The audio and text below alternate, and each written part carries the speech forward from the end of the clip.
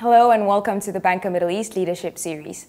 Today we have with us Nash Mithani, Head of GSEC EMEA Private Banking and Head of Private Banking for the UAE at Standard Chartered Bank. Thank you for being with us today, Nash. Thank you for inviting.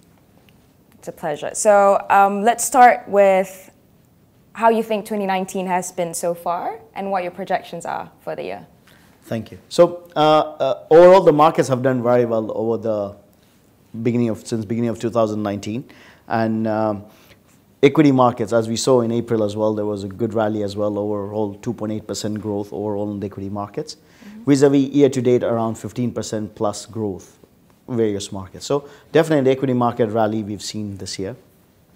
Furthermore, on the fixed income space as well, emerging market debt has done very well. Overall, the fixed income markets is up by 4.2% year to date. So we definitely seen good rally across both the asset class. And that is the interesting question as you put, what are the projections, what do we see? I would say there are two main factors that we need to look at in this. One is seasonality and the event risk. Those are the two things that we need to look at. Mm -hmm. From a seasonality perspective, you would have heard that the markets usually say sell in May and go away which is in a dialogue that we always say. So that is something that we need to look at, whether it's a time to take some sort of risk off the table with the rally that we've seen, take some profit and be on the sideline and watch what happens. That's where I think the event risk is very critical, and that is what we have to look at very, very much. Of course, we've seen that uh, the trade tensions have been escalating. So that is going to be a key factor, I think, to look at in the near term on how that plays out. The trade tensions are critical because it is a global economy. We want a growth will be trade related. So that's definitely important to look at and how that overall escalates. Would you see that as the biggest risk for you this year? That is one of the biggest risks. Okay. Of course, there are other risks as well in, in terms of overall looking at how the, uh, the economic results vis-a-vis the corporate America results come out mm -hmm. and I'm looking at the earning season. So in terms of the equity space, Overall, our research is very clear that long term we are very positive with regional bias on China. China. On China equity, we are very bullish and we look at that as, as definitely growing mm -hmm. forward on a 12 plus month overall, long term. Vis a vis, we are also bullish on US equities, but it will depend a lot on the US earning seasons and how do we see the earnings yeah. coming out. We are less favorable on Japanese equities we don't see that being of our top picks, and, and that is something that we are underweight overall on the equity if space. If you could explain like, why. So on, on the Japanese equity, Japanese we, we don't see the economic growth coming through in Japan. Vis-a-vis, -vis, we see that the U.S. economic growth doing very well. We mm -hmm. see the GDP growing last year. We see the non-farm payroll in Japan and so in US growing as well. So the economic activity is a lot more in US and that's where we see the growth mm -hmm. coming in US. Vis-a-vis, China, which we say is the global factory of the world, we definitely see that coming through and, and that economic activity in China coming through as well. I'll put all this in a caveat saying that, of course, the trade tensions will be critical vis-a-vis in, in terms of part of the economic cycle looking at the corporate America and the earning seasons. Those will be the critical in terms of the equity space. Mm. On the fixed income markets, again, we are bullish on emerging market USD bonds mm -hmm. specifically government bonds and emerging market, we are very bullish on that. On developed market bonds, we're not very bullish. We don't think that with the cycle that we're in on the credit cycle as well as the interest rate, we're not very bullish on that. But why, why are we bullish on emerging market debt? And, and, and I think that's a very valid question. And that brings me back to our FX predictions. And our on the fixed on the sorry foreign exchange, we believe there will be a sort of USD sort of no, sorry, my view. On the USD space, we think we're underweight US dollars mm -hmm. against emerging market currencies, and we think the emerging market currencies will rally. Mm -hmm. If emerging market currencies will rally, the emerging market debt will be more in demand. And that is where we see the fixed income as well as the emerging market debt growth, and that's why we think that, that prices will come up on the emerging market debt. So that's where our view on emerging okay, market. Okay, that's a very comprehensive projection of the market. So, but you you would say you're optimistic then? We are definitely optimistic. All yes. right. So on that note, how big is the private banking sector in this region and where do you see untapped opportunities? Excellent. Taking all that into consideration. Thank you. Thank you for that question. Again, a, a very important and very pertinent question. I believe the private bank sector in the region, especially Middle East and MENA, Middle East and North Africa, is a huge opportunity. And I think all of us are definitely very excited. And let me tell you where my excitement is coming.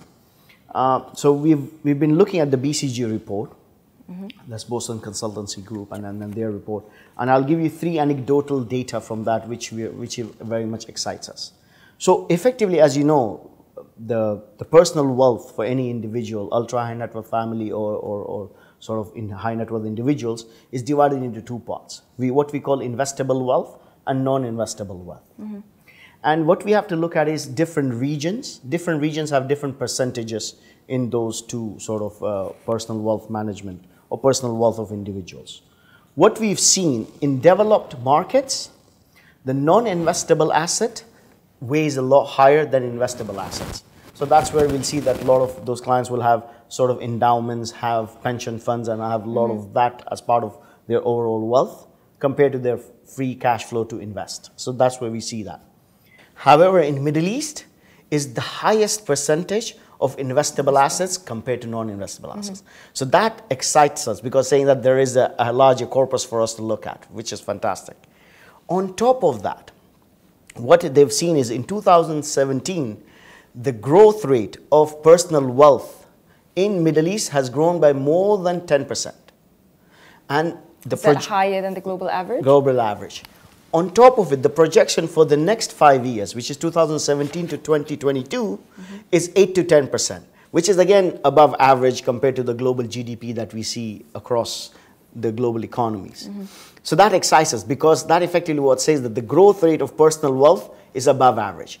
And percentage of that which is investable asset is also a higher amount. So fantastic opportunity for private bank to, to look at how do we help our clients in managing their assets. Mm-hmm. The third and final point, which is also very critical, I think, for us to look at is the number of affluent individuals in the Middle East and uh, North Africa region, that is the MENA region, it's growing by 14% or expected to grow by 14% from 2017 to 2022 to get to the 1.5 million individuals, if not. So that also tells us there's enough individuals out there and it's not going to be concentrated with a small mm-hmm. sort of pool of individuals, but there is quite large. So that gives us a great opportunity for us to look at and tap into those markets. And this markets. is just GCC or the broader Middle East? This is Middle East and North Africa, and the North numbers Africa. that I said. Okay. Yeah. The earlier numbers I gave you, that was Middle Eastern in terms of the, the growth rates of the investable and non-investable. Yeah. So definitely huge opportunity for private bank here. Mm-hmm. But your second part of the question, if I may come to that, which was the untapped opportunities. Where yeah. do we see the opportunities coming? Of course, like every private bank client and every high net worth and ultra high net worth families, traditional investments are critical.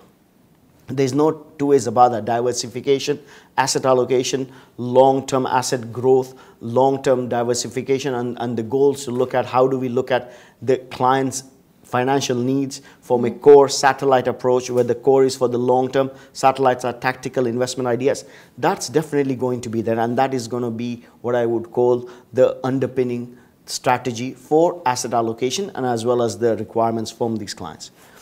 But the untapped opportunity, in my view, and, and we've done our internal research and looked at it, the more than 50% of our clients in the Middle East are, are, have allocated about 10 to 25% of their allocations of investments mm-hmm. into what I call long term sustainable investments. And that's the new exciting area that we are looking at where we're saying that in the future, what we see is our clients looking at moving away from their philanthropic activities and trying to look at alternatively on sustainable investments. Because to them, define sustainable? Is that socially, yes. is that SRIs or? So sustainable investments is, is an investment which has an investment objective of to grow, yeah. but with a social angle to it on impact. saying the impact, social yeah. impact. So effectively looking at that I definitely want to invest and I want my money to grow, mm-hmm. but I want to do it with a cause where I can give back to the society, giving back to our society in Africa, in Middle East, and see how do we these small businesses that want to grow there, but how do we help them, mm-hmm. and how do we benefit from an investment perspective, but at the same time doing a long-term sustainable growth for those economies and those individuals where we're bringing them into back into the workforce. Mm-hmm. So that, that impact investing is actually growing fantastically. And everybody's saying that rather than looking at a philanthropic activity, I look at it this where we know that there is an objective to grow, but everybody will grow together as well as the, the investment. So, so that's where we're seeing a huge shift. Mm-hmm. And, and I, I believe that is the untapped opportunity that where we can add value prospectively with Standard Chartered's core roots in Asia, Africa, and Middle East, which are the emerging market growth engines, and to see how we can add value to those economies and looking at those sustainable investments mm-hmm. and how do we bring that to our private banking clients. All right, you might have answered this question that I have right now, but okay. perhaps you could expand and make it slightly more specific. Sure. So, from your conversations with your clients over the first quarter of the year, what are their main concerns this year and why? Yes. Excellent. Now, thank you for asking that question as well. Again, I'll, I'll go back to my first uh, answer, if I may. Mm-hmm. And this is going back, I think that I'll, I'll put it in three buckets, if I may. So definitely their concerns is the trade tensions yes. and how does that impact their portfolio. Investments, yeah. And vis-a-vis with the growth that they've seen, are we going to continue? Shall we continue or shall we take some some risk off the table? Mm-hmm. Again, sell in May and go away. So so those yeah. are sort of big things that they're looking at in saying that the trade tensions that's happening, how do we look at it? How do we evaluate? How do we look at it? And and part two of that is that there is a lot of research that comes out there Mm-hmm. There's a lot of literature on there with a lot of different banks giving a lot of different views. And that is where I think it's important for a bank like us to look at an unbiased view and try to filter it out and, and tell them on based on the various views what is the synopsis mm-hmm. and how do we look at it so that is what we look at it in terms of so the second problem as i said is the saying that is the the, the issue of a lot of information and how do we sort of dissect that and how do we sort of condense that and actually filter that makes sense. So that's what I would call the second. The third one, and in my humble opinion, is, is, is as much as less of worrying but more of opportunistic view. What we've seen in the last couple of years that the, the, the growth rates in terms of businesses and various in Middle East and Africa have been a bit subdued. And I think there's a great opportunity now, and the clients are feeling that definitely with the oil prices and the economic activities that are happening in our region, there's a lot of local investment and opportunities that they see coming back to the region. So that's how they're looking at it, if I may. Okay, so how then do family offices differ in different parts of this region, and how, how do you cater to them? Excellent. Thank you again.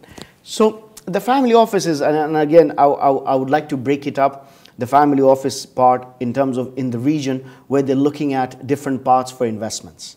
And let me explain what I mean by that. So a lot of the family offices here, first we're looking at London as the core sort of booking center to mm-hmm. look at and, and, looking at UK assets.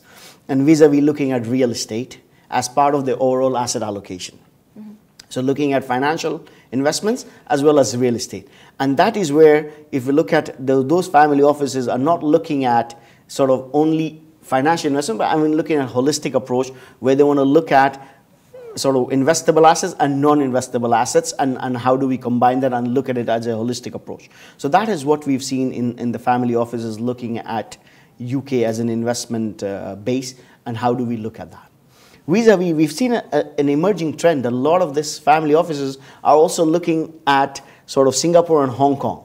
Mm-hmm. And, and, and that sort of that that pull towards east is definitely coming. And vis-a-vis, that is where they're looking at in terms of the booking centers in Singapore and Hong Kong are more efficient, who work at a sort of round the clock. And they're saying that the advice that they get from those booking centers, the activity levels are much higher. And if you want access to Asia, then it's a natural tendency to go to Singapore or Hong Kong because that is where you're seeing the flows. So that is the trend that we're seeing on, on, on that side. So there is, as I said, there's both ends of the sort of family offices that we're seeing in terms of. Okay, so still on that topic of family offices, you mentioned this the last time we had a chat, which was last year. What challenges, what challenges do you typically see with the transition of wealth and businesses from parents to the next generation? Yes. This is something that you touched last year, and yes. how has that sort of evolved? Yeah, exactly. And and the key word or the buzzword is the millennials. Millennials, yeah. Millennials, as we say, and that's where we're seeing that there is a lot of change happening. And I think I'll put it into three buckets, and that's where all private banks need to look at in terms of how do we try to cater with this shift of mm-hmm. wealth going from one generation to the next generation. And number one is what I would call is digitizing. And digitally accessing our next generation is very critical for them because that is what they expect. The expectation is that at the touch point, they can see the entire portfolio. They can look at the research on their handset and they look at if they want to connect with their RMs and have a chat, they can have a chat rather than having a call to have a chat on secured sort of channels. So to me, that digitization is very critical. And, and that is where SCB has done a, a good step is what we're looking at is vis-a-vis that our app, our SCB sort of private banking app has, has improvised a lot, where you can have a lot of access to your portfolio, you can look at trends, you can look at research, mm-hmm. you can have an, a secured sort of chat and discuss idea flow. So that connectivity definitely happens from, from, from that perspective. Vis-a-vis, we're definitely looking at the fintech and how do we bring fintech sort of into the equation vis-a-vis how do we digitize our account opening process how do we digitize a lot of our procedures so that even if at a messaging and, and, and, and that we can try to get approvals from our clients and connect with them and, and, and try to work forward. So to me, that's a big sort of shift that the private bank needs to sort of evolve and look mm-hmm. at, number one, two. Number two, in my view, is important is unbiased trusted advisor. And what I mean by that, and I think it relates a lot to Standard Chartered is, as a bank, we don't have an asset management company. So what we say is that we want to bring the best asset manager for the asset class to the client. So if a client is wants to invest in global equities, we will bring the best asset manager who has done very well, has a great historical past performance on global equities managing that, we'll bring that to the table to the client rather than saying that you have to use standard chartered asset manager for global equities because that's what is part of the network. Yeah.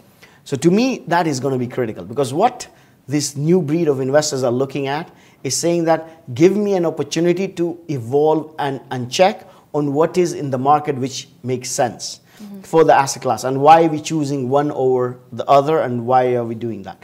So that helps us in because we don't have our own asset management to become unbiased and showcase from an open architecture what is the best asset manager that we want to bring to us. So I think that is going to be critical as well as, as, as I think part two of this equation where we want to look at in, in terms of the next generation and the flow from the first sort of patriarch to the 2nd mm-hmm.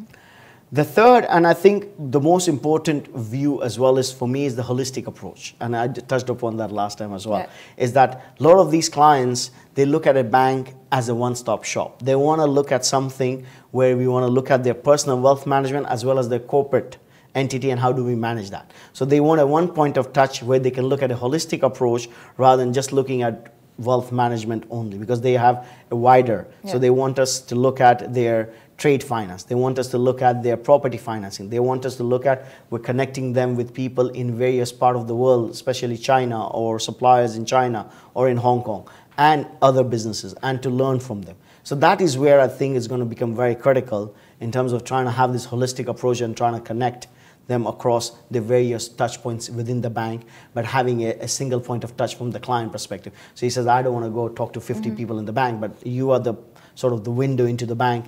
You are the sort of generalist. In a way, the fundamental of the last two points that you mentioned is personalization, basically. Exactly. Towards the, towards the client needs. Yeah. All right. Next question. um, you mentioned digitization Yes. And obviously, that is something that none of us can run away from. Yes. So, how much have technology uh, and regulation impacted your operations? Excellent. So, may- maybe I'll put the regulation put yeah, point first, and then I'll come on to the technology. I think regulations are definitely good thing. And, and I believe, and, and a lot of people, when they, they discuss, they talk about various banks and the cost of compliance every time they've, they've asked me that, I said, like, do you guys understand what is the cost of non-compliance? You mentioned this last year as well. Yeah. yeah. Which is very critical because now we, all of us have personal liability and all of mm-hmm. us have to ensure that we do the right thing. So to me, more than complying, it's a conduct issue. And conduct is very critical for me and for everyone in the bank, saying that if we want to behave with the right conduct, we have the right behavioral attributes to ensure that all of us are doing the right thing. Mm-hmm. And with that, if we look at it, I think with all this regulatory framework and the bar being raised, I think is only the right thing to do. And I think all of us also don't want to just meet the bare minimum. We want to be higher. We want to put a standard that is leading across the industry so that we ensure that all our staff and ourselves are be, truly believing that we want to do the right thing here. So in that sense, I don't believe it's a hindrance. I think it's a good thing mm-hmm. because I rather get through that hurdle day one with the client, and when it's done, it's done at a standard which is much better, so that he doesn't have an ongoing situation and issues with that. So I think that way, I think the regulation is the right approach, and I think we all need to definitely do the right thing here. So I think I wouldn't call that hindrance. It, it, it actually helps us in better understand the client. It actually helps us to understand the details of in terms of his source of wealth and as well mm-hmm. as his, his, his sort of income generation. So it is definitely the right thing. So that definitely is important and we are very focused on that. Technology is critical in, in, in terms of the growth ambitions that the private banks have and the industry has. If we don't have technologically advances, then I think we'll be left behind. Of course. And what we've seen is that we, we, as a bank, we've done very well in the private bank, definitely. So we've got this, what we call this Connect, SC Connect, and, and, and all these apps where a client wants to look at online and calls a uh, RM and says, I want to trade on something at a desk. The RM can put in the order and get it straight through execution. Can look at a lot of structured pricing to be done at his desktop rather than calling a desk and then saying the client, oh, let me call you back, I'll have to check and come back. So a lot mm-hmm. of that can be done sort of real time. So that has actually transformed the business as well. Because that gives the client a lot more as well on the job, on the time, uh, information. Appli- information as well as pricing. Yeah. Vis-a-vis, the, the also important with that is that because what we've done is now, since we've put it real time, what we've done is that we've provided three or four different providers who give us the pricing. Mm-hmm. So that way, the client also knows that if he wants to trade with an underlying that is sort of issued by JP Morgan or by Standard Chartered, what is the price difference? So he can also get the best execution. So I think that has also improved quite significantly for us. So I think technology is the right way forward, in my humble opinion. Okay, so taking all that we've discussed into well, together. So regulation, technology, the change of uh, preferences in investments. You mentioned sustainable investments. Sustainable investments. Um, as well as yeah, impact investments, as well as um, that transition between one generation to the next. All these things considered, how do you see private banking evolving in this region over the next five years? Okay, thank you. Uh, as I said, I think the prospects are very, very good. Private banking, I definitely think, is, is the only segment that I believe is going to definitely grow. Other segments will grow as well, but my bias will be all for bank because that's what I've done. And the reason is because I, I say it's a great blend of personalized touch where you want to have a face-to-face meeting and how want to have a personalized discussion with the client mm-hmm. vis-a-vis technological advances also being in that systems where they can do it online and have a look at it as well as having unbiased approach. So with all that, I think definitely private banking is definitely here to stay. And I definitely see growth prospects are very, very much positive vis-a-vis. Specifically in Middle East, with the, the growth projections that I gave you in 2017 and mm-hmm. 2022, there's definitely enough market share for enough players to be here and then actually to enjoy the benefits for that. So I definitely am very positive and excited. Okay, you mentioned marketplace. My last question. Yes. What is then your approach to growing Standard Chartered's private banking business in the region this year? Excellent. Now, thank you for asking that. And again, I'll, I'll divide that into three parts.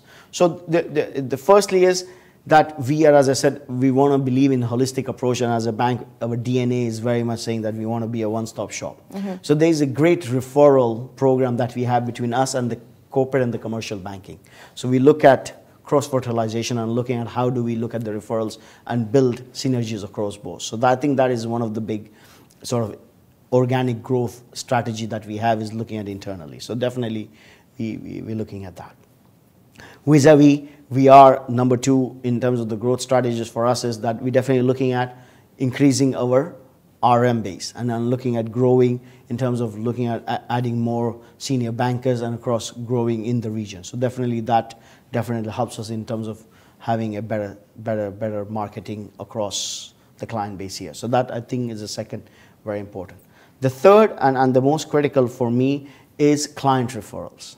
Mm-hmm. And saying that looking at our existing client base and how do we get referrals from them for other clients is very critical. And, and that has also been growing. So definitely we're looking at how do we find different ways. And with this impact investing, every client that we invest definitely would like to bring their other sort of family and friends to that. So that has helped us as yeah. well. And, and, and that is also a social cause. So that has been our strategy in terms of the growth. And I think that will, will continue with that strategy. Okay. Is there anything else you'd like to add? Thank you very much. Thank That's you very much for your time. It was a pleasure. Thank you.